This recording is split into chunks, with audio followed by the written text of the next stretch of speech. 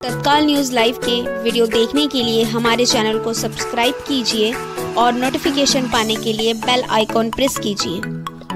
मैं हूँ सोनिका और आप देख रहे हो तत्काल न्यूज़ लाइव। आए दिन सदर फ्लाईओवर पर एक्सीडेंट की घटनाएँ बढ़ती जा रही है।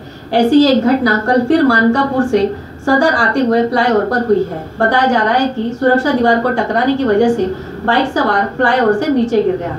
मृतक का नाम राहुल मधुरकर उमरेडकर बताया जा रहा है। वह लेंडी तालाब बांग्लादेश निवासी है। शाम साढ़े सात बजे के दौरान राहुल अपनी बाइक से काटोल रोड से आरबीआई चौक की तरफ़ आ रहा था। तभी अचानक बैलेंस बिगड़ने की वजह से सुरक्षा दीवार से वह टकरा गया।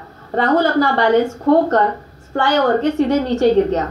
खबर मिलते ही सदर के थानेदार विनोद चौधरी अपनी टीम के साथ मौके पर पहुँचे।